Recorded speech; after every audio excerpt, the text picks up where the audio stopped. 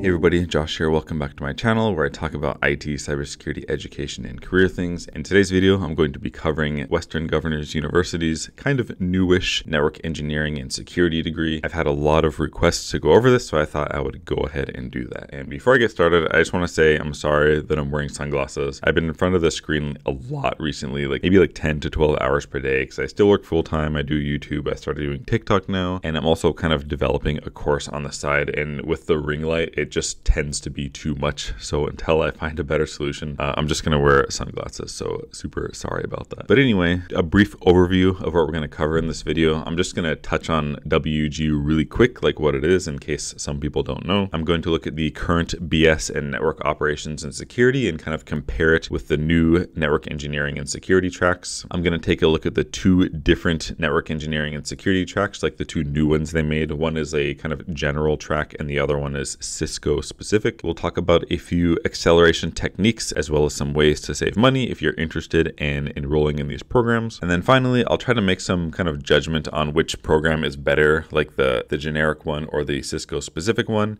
And then I'll wrap up the video kind of with my final thoughts on the program. So if you appreciate me putting together all these materials, please consider liking, maybe even subscribing as well. So yeah, let's get started. And for those of you who don't know, WGU is an online accredited university. Basically, the way it works, instead of paying for credits, you essentially pay for time. So you pay for one term at a time, which is about six months. And then depending on the program, it's around like 3,500 to $4,000 per term or per six months. And basically the way it works is you can complete as many courses as you can in that six month time period. And if you are super smart and strategize and you just so happen to finish your whole degree in that six month time period, then you just get a bachelor's degree for, you know, $3,500 or $4,000 or whatever the case may be. So that's kind of how WG works. I do have three degrees from WGU. I have two bachelor's and a master's degree. I've made a lot of other content about it, so check that out if you want to. And then getting into the current network operations security degree and comparing it to the new network engineering and security degree. I made a couple of spreadsheets here, so let's take a look at those. And I'll definitely put a link to these in the description. It's really hard to look at on my screen, I know, so just check out the description. Um, you can blow it up on your own screen. But basically on the left, this is the current network operation and security degree, and on the right, this is the new network engineering and security degree. And there's there's quite a few differences, but some, the main thing that like really sticks out to me is there seems to be like less general classes on the the new network engineering and security degree. So here we have like English composition 1 and 2, but on the new network engineering and security degree we have a whole bunch of discrete maths with algorithm and cryptography. Um, I'm assuming we're going to learn how to do like asymmetric cryptography and maybe learn the RSA algorithm and maybe like extended Euclidean algorithm or something like this, just a guess. But there's more programming and like hard technical classes in the new network engineering degree, which is really, really cool. Both versions of the new network engineering degree have a lot more programming and version control type classes over here. So I see like version control down here and then software defined networking. Super, super cool in the new network engineering degree. So that's just like a high level overview. You can kind of look through this a little bit more on your own time, but I thought I would touch on that really quick. And then next, we're going to look at the two network engineering and security degrees side by side side. So the left side here is going to be the generic one. On the right side here is going to be the Cisco centric or the Cisco specific one. Again, I'll put a link to this in the description. I know it's really hard to see on my screen, but basically all of the general classes and the core classes for both tracks are the same. When we start getting into the program specific courses, on the left is the general one, right? And on the right is the Cisco specific. We have like IoT for the general track, but the Cisco specific, we have like the Cisco Cyber Ops certification certification, the Cisco DevNet certification, as well as CCNA on the right. And on, on the left, in lieu of those, we kind of have the more generic versions of those. So we have like a uh, network and security apps. This is CompTIA Security Plus, network automation and deployment. This is like CompTIA Cloud Plus, software defined networking, and then we have version control. So I assume this software defined networking in conjunction with the version control on the generic side is probably the equivalent to the DevNet on the Cisco specific side. Both of these courses are, are really, really good, and I'm particularly particularly impressed with all of the discrete math in these and the emphasis on programming and version control in both tracks. It's kind of like they took network engineering and then some components of software engineering or computer science and kind of crammed them into one degree, which is super, super cool to me. It's like my two of my favorite things. Like I really enjoyed doing Cisco and I really enjoyed doing computer science-ish things. And they, it looks like they kind of made a really useful, marketable degree and combined the two, which is really, really cool to look at. I will say I did take discrete math 1 and 2 from computer science, and I know they're probably different from what we're seeing here, but discrete math, in my opinion, is like really applicable to the real world and really applicable to a lot of computing concepts as well. It's really interesting, and I'm really surprised and happy to see that they included discrete math in here. So yeah, I almost feel like FOMOing in is like getting another bachelor's degree, but that's like absolutely ridiculous, so I won't do that. But it is a really, really cool program, to be honest. And then next, we're going to hop in and look at a few acceleration strategies and money saving strategies in case you want to enroll in these and then finish faster than usual and or save a little bit of money. I made these spreadsheets here. I'll put a link to this in the description as well. Of course, on the bottom, there's going to be some tabs.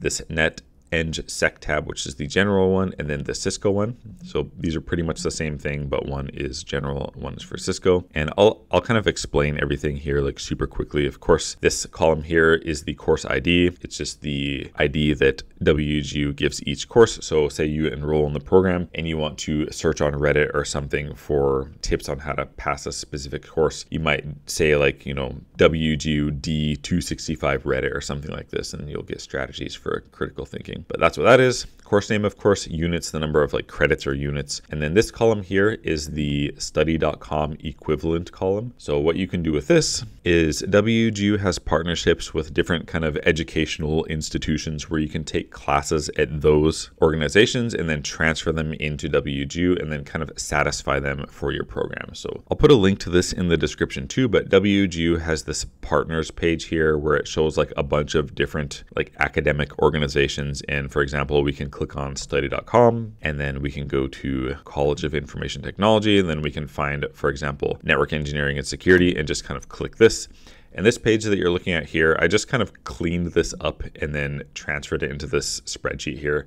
So it's kind of easier to look at and makes a little bit more sense. So basically this study.com column, these are the equivalents that you can take at study.com and then transfer them into your WGU degree. And the whole reason you might want to do this is study.com, generally speaking, is cheaper than WGU is on a month per month basis. So if you wanted to, you could complete all of these courses at study.com before enrolling in WGU kind of transfer them all in and potentially save a decent amount of money. Same thing with sophia.org. I kind of put the equivalent courses here. If you want to go through and take the courses at Sophia, transfer them into the program, and then potentially save at least some money for sure, but potentially save some time as well. And I made this other video here. It goes in depth about how to use study.com and transfer in courses and save money and all that. So check that out if you would like. Also, there's a discount code here if you want to save 30% on your first three months. You shouldn't really need more than three months anyway to do all the transfer courses from study.com. So, so definitely check that out. That will be a pretty decent amount of money saved. So what this might look like, for example, say you want to do all the classes from sophia.org.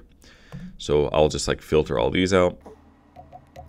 And then what you have left over is instead of 40 whatever classes or so, it's going to be like 27 or 28 classes. And then say you want to do the rest at study.com. So we'll filter out all the study.com classes and then it will look something like this. So now you have only 23 courses left to complete a WGU instead of 40 something. And if you really wanted to, you could do the certs outside of WGU as well. So it will look something like this. So then once you actually register at WGU, you only have 20 classes left to complete, which will kind of reduce the amount of terms that you have to work, thus kind of reducing the amount that you ultimately pay for your degree. Like you don't have to do this obviously, but it's just an option that you can do. I did this for both my IT and comp sci degrees and it worked out pretty well. But yeah, just something to think about. Again, I'll put a link to this spreadsheet and everything in the description if you want to kind of play around with it and see like the different things you can do to graduate faster than normal. Next, I'm going to try to figure out which degree is better. It's like really subjective, but I'll I'll try to do I'll try to include some like quantitative data so we can look at something useful. So down here on the same spreadsheet, I have this job hits score tab. So go ahead and click on that if you're following along with me. And basically, the best thing I could do to figure out like which one was better is I just looked at all the certifications for both tracks. So the left side is the standard track, right side is the Cisco track, and I just kind of tallied up how many hits for each certification I found on Indeed and LinkedIn. So for example, as of today's date, which is July 3rd,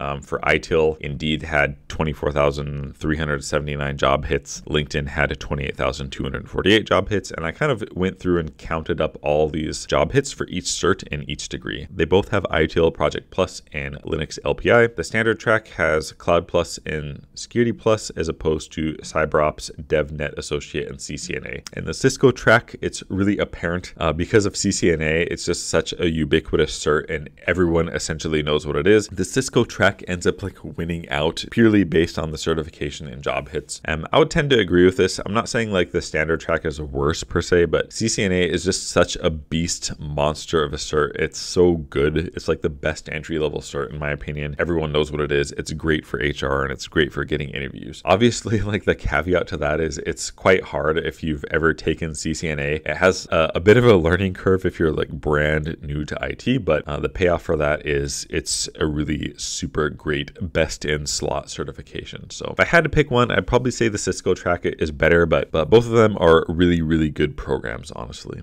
And then final thoughts to kind of wrap things up. I think this degree, like I said, is really really cool because it like meshes computer science together with networking, which are like two of my absolute favorite things. I really wanted to be a network engineer at the beginning of my career, but I just ended up getting pulled in too many directions. So, ignoring computer science and software development, this is probably, I don't know, it's really hard to say. Like, the cloud tracks are really good at WGU, but this is probably tied for first place with one of the cloud tracks, honestly, in terms of marketability and just how cool the program is. But the caveat to that, I will say it's probably going to take longer than average to complete this one, especially the Cisco track because it has CCNA, and CCNA is like not that that easy in terms of entry level certifications. Discrete math also might be like a little bit hard if you're not used to those concepts. And then again, it has a lot of programming concepts in here as well. If you're okay with taking slightly longer to complete your degree, this is, you can't really go wrong with this one in terms of like the actual course content and certifications and everything. I'm a little bit mad at WGU for, for ghosting me all the time, but I, I will say they're doing like a really good job with the new tracks they're making. So, uh, so good job on that, I guess. I'm gonna give a super shout out and thank you to all my patrons. Thank you so much for supporting me in the channel. I really appreciate it a lot. Don't forget to like and subscribe, and we will see you in the next video. Bye bye.